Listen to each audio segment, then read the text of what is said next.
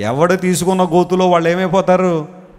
పడిపోతారు. అందులో పెద్ద సందేహం ఏముంది? నువ్వు గొయ్యి తీస్తున్నావంటే ఈ రోజున ఒక రోజున నువ్వే వెళ్ళి పడతావు. దానిలో ఎవరో పడరు ఎవరో పడరు. గోతులు తీయడం మానేసే. Invest your time in prayer invest your time in reading the scripture invest your time in spending in God's presence by praising him and worshipping him దేవుని ఆరాధించడంలో ఆయన స్థుతించడంలో వాక్యం చదవడంలో దేవుని వాక్యాన్ని చదవడంలో ఆయన కోసం జీవించడంలో మంచి విషయాలు నీ సమయాన్ని ఇన్వెస్ట్ చేయి.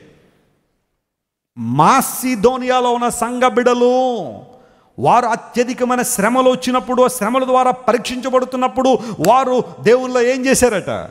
అత్యధికంగా సంతోషించారట. ఆ తర్వాత మాట కూడా ఒక మాట బాగుంటుంది చూడండి. మరియు వారు నిరుపేదలైనను వారి దాతృత్వం ఏమైందట? బహుగా విస్తరించింది. వారు నిరుపేదలైనా కానీ వారు ఇవ్వడంలో మాత్రం పేదోళ్ళు కాదు. స్తోత్రం చెప్పండి. హలల్లుయ. అందుబట్టి నేను ఎప్పుడు చెప్తూ ఉంటాను ఇవ్వడం అనేది నీకున్న డబ్బు మీద ఆధారపడి ఉండదు. నీకున్న యాటిట్యూడ్ మీద ఆధారపడి ఉంటుంది. గివింగ్ ఈజ్ అన్ యాటిట్యూడ్ ఈరోజు నీకు పది రూపాయలు ఉన్నప్పుడు అందులో ఒక రూపాయి నువ్వు ఇవ్వడం నేర్చుకోకపోతే రేపొద్దున వంద రూపాయలు వచ్చినప్పుడు కూడా నువ్వు ఇవ్వలేవు దేవునికి. రేపొద్దున దేవుడు నీకు పది కోట్ల రూపాయలు ఇచ్చినా నువ్వు దేవునికి ఏమి ఇవ్వలేవు. ఎందుకు వస్తుంది తెలుసా? ఇవ్వడం నీకు రాదు కాబట్టి నీకు చేత అవ్వలేదు కాబట్టి. ఎప్పుడు తీసుకోవడమే తీసుకోవడమే తీసుకోవడమే నేర్చుకున్నావు కానీ ఇవ్వడం అనేది నీకు ఇష్టం కావట్లా. కానీ దేవుని వాక్యం సెలవిస్తూ ఉంది. ఈయుడి మీకేమవుద్దట? ఏ పడతాం ఒక ఐదు ఎకరాల పొలం ఉంది. పొలం గట్టు మీద నిలబడి వరి పంట వచ్చే వరి పంట వచ్చే అంటే వస్తుందండి ఏం చేయాలా? వరి పంటను చూడాలంటే చెప్పండి విత్తనాలు వెయ్యాలా ఒక పది ఎకరాలు ఒక తోట ఎవరో నీకు ఇస్తే మామిడి చెట్లు వచ్చేయండి మొలిసేయండి అంటే మొలుస్తాయా? ఏమేయాలా మామిడి చెట్లు మామిడి మొక్కలు నాటాలి లేదంటే ఆ టెంకలన్నా కనీసం ఏదో వేస్తే దాని నుంచి చెట్లు వస్తే ఆ తర్వాత ఫలం వస్తుంది. చాలాసార్లు మన యొక్క టిపికల్ మెంటాలిటీ ఎలా ఉంటుందంటే నేనేమీ చేయను కానీ ఫలం మాత్రం చాలా విస్తారంగా వచ్చేయాలండి మాసిధోనియా సంఘ బిడ్డలు నిరుపేదలట. అయినా వారి దాతృత్వంలో మాత్రం పేదలు కాదు ఇవ్వడంలో పేదలు కాదు. ఈ రోజుల్లో దేవునికి ఏదైనా ఇవ్వాలంటే ఎన్ని సనుగుల్లో ఎన్ని రీజనింగ్లో ఎన్ని లాజిక్లో ప్రభు మనల్ని ఎవరిని బలవంతో పెట్టువాడు కాదు బలవంతం నిర్బంధం ఎక్కడా లేదు ప్రభువు దగ్గర. ఆయన మొట్టమొదటిగా మన హృదయాల్లో స్థానాన్ని కోరుతున్నాడు ఆయన. ప్రభువుకు మనం ఇచ్చేది మొట్టమొదటిగా మన హృదయం. ఏసయ్య అదే అడుగుతున్నాడు. కానీ రక్షించబడిన తర్వాత సువార్త భారాన్ని కలిగి ఉండి ప్రభు పని జరుగునట్లుగా దేవుని రాజ్యం విస్తరించబడినట్లుగా దేవుని కార్యాలు మనం జరిగిద్దామా?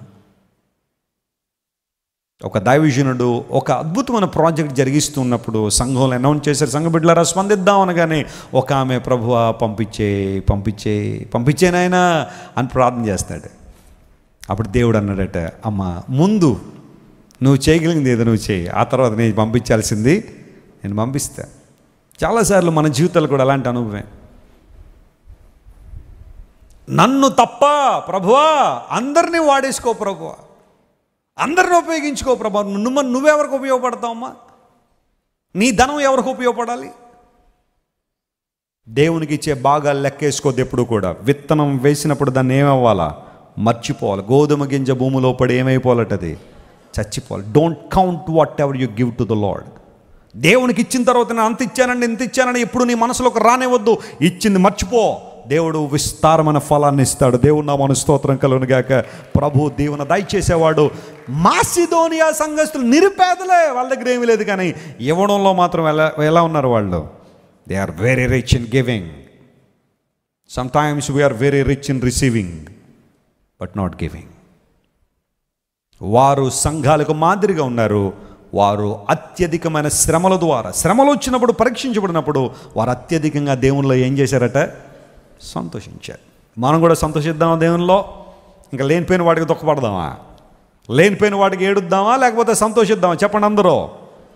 కొంతమంది చెప్పట్లేదు. చెప్పాలి గట్టిగా. సంతోషిద్దామా లేదా? ఎస్ ప్రభువులో ఆనందిద్దాం. ఏ ఆనందం ఇది?